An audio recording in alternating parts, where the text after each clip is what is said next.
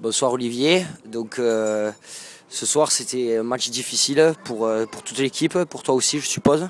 Euh, Est-ce que tu peux d'abord nous, expliquer qu'est-ce qui se passe? Parce que ça va vite en tribune. Toi, comment tu l'as vécu? Qu'est-ce qui se passe sur, un plaquage où l'arrière, l'ailier Lomax revient? Enfin, Moi j'ai l'impression de mettre l'épaule à 90%. Je mets l'épaule et je pense que je touche le ballon.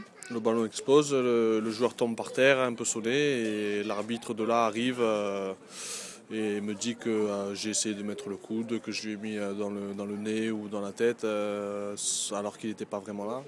Et puis bon, mais de là, il me, il me sort donc aucune discussion, aucune pénalité avant, pas de rapport, ce qui se fait souvent. Je crois qu'il n'a même pas consulté l'arbitre de touche.